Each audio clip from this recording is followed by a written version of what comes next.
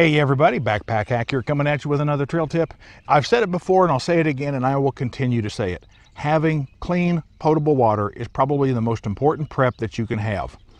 Now, a lot of people would think, well, you just store a bunch of water. Yeah, in an ideal world, all of us would have thousands of gallons of water stored away. Now, water in and of itself doesn't go bad. It's the contaminants that are in the water the biological, the chemical, the heavy metals, and the particulate matter. Those are the things that we need to work with and get out of the water to make it potable. And probably the most important one of these is the biological, the little creepy crawlies that might be in your water that in a good situation will still make you very sick and in a grid down situation can kill you. So ideally it would be great if we all had thousands of gallons of water stored away, but that's just simply not practical. Because if you live in, let's say, a 1,200 square foot apartment, it's hard to put away 10,000 gallons of water. So the vast majority of us are going to be relegated to the simple task that we're going to have to find water and treat it. We either get it from a river or a lake, or we collect rainwater and treat our water after we source it. And the biologicals are probably one of the most common things that we're going to have to concern ourselves with. Now, bleach does a pretty good job of disinfecting water, and a lot of people will think, well, this is a pretty sturdy container. I can just buy a bunch of bleach, store it away, and when I need it, add it to my water that I need to disinfect. A lot of people don't know this, but bleach deteriorates over time. In fact, after two or three years, this gallon of bleach is going to be nothing more than a gallon of water that smells like bleach. Yes, it deteriorates that quickly. So the efficacy just goes downhill right from the day you buy it. And over the long term, this is not a long-term viable storage option. The next step a lot of preppers will go to is pool shock. And this is a viable option, but it has its problems as well. First off, it's very caustic. It outgasses chlorine gas, which is highly corrosive, so it's hard to find a container that it won't eat when you store it away. It also is flammable, so there is a fire hazard in storing pool shock. But there is something that I have found that can be used for long-term storage and still be able to disinfect your water in a grid down situation. And that is the MSR SE200 Community Chlorine Making Kit. One caveat about this, and I want to warn you about this right now. If you're intrigued by this and you want to get one, get one right now because these are discontinued. MSR and Cascade Designs, their parent company, is no longer manufacturing them. They don't even have the parts to fix them. I talked to them about that. So if you want one, get one. There may be a store still having one available. Amazon, there might be a vendor that still has one. You might find them pop up on eBay once in a while. And you might check other online sources and local sources. So if you're interested in getting a kit that will purify your water over the long term, this is the solution.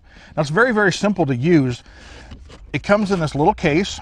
Now this is not going to be a how-to to use this thing or a review, just an overview to let you know what is in here and to get you interested to think, to get you to the point where you may want to buy one of these. Now, while this kit does come with printed instructions in like five or six languages, there are visual instructions both here on the inner liner of the case as well as on the pieces themselves. So even a person who is unable to read will be able to use this device. It comes with a plastic case with a liner around it, but you can just toss that aside. The case is rather compact for what it does. It comes with the instructions printed on the lid, as well as printed instructions. It comes with a power cord and the unit itself that does the electrolysis. It comes with a salt brine bottle that you make your brine solution, and it comes with a bottle that you store your finished chlorine solution. It also comes with some test strips and a measuring cup. And to use it, it is very, very simple. It comes with a salt package, but I myself went and got some rock salt at Walmart, and I think it was like five and a half dollars for 40 pounds of it. You simply put rock salt in.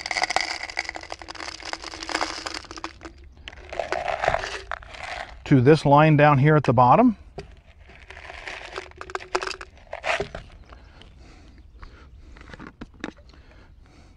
fill it to this upper line up here with water and then shake it to dissolve the salt. Now, since I use rock salt, it takes a lot more effort to dissolve than this granulated salt. So it's going to take a while for me to do this. So let's get started. A few moments later. Okay, looks like we are all diluted. So let's go ahead and get started on making the chlorine solution. What you will need is a 12 volt battery source, which is very, very common. I'm going to use my DIY power well and plug this right into it. And then what you do is you can see this little, see this band right here at the bottom of the clear. All you do is you put in your brine solution to the top of that mark, that shaded area, and press the button, and it will start to fizz. And I don't know if you can see it, but there is already chlorine gas coming out of this. It's a little wisp of smoke. And you do get a very strong odor of chlorine as you use this. Now, if you're hooking this up to a car battery, you would use this adapter. It simply plugs into this cord. It just so happens that this cord matches the input, charger input of my DIY power well. You let this go until it's done. It takes about four to five minutes to do. When this is done making chlorine and converting this salt brine to chlorine, it will flash and beep and then you can simply store it in this bottle and it's a dark bottle so it's not going to be subject to light and it will last. They, they, the manufacturer suggests you use it within 24 hours. The chlorine solution that it's making right now will treat 20 liters or about five gallons worth of water. If you convert this much salt brine to chlorine and there it beeps and we're re- and we're done this bottle right here, if you treat all of this brine and convert it into chlorine, it will treat easily a 55 gallon drum of water. And I've done the math that the salt that I put in here and converted it, that 40 pounds of salt will treat over 200,000 gallons of water. So even if I use 10 gallons of treated water a day, I have enough salt on hand to treat over 200,000 gallons of water. And that is just plain old salt, people. Salt. You can store that forever. Vermin won't eat it. Bugs won't lay their eggs in it. You can store salt forever. Just put it in a bucket and keep it dry. So anyway, that's my overview of the MSR SE200 community chlorine maker. Again, if you're wanting to get one of these, get one right now because they're discontinued and they're not making anymore. I don't know if Cascade Designs is going to replace it with something or they're going to bring production back up and make a bunch of them. I don't know. They don't talk to me about it. So if you want one, get one. I'm going to suggest that. How much do they cost? They retail for $249.95, $250. I was able to find this one on sale at a store in Utah for $180. Combine that with the five and a half dollars I have in salt and maybe eight or nine dollars that I have in the five gallon bucket and the lid. And for around $200, I have the capability to treat over 200,000 gallons of water. And for $200, that is a steal. So consider getting one of these.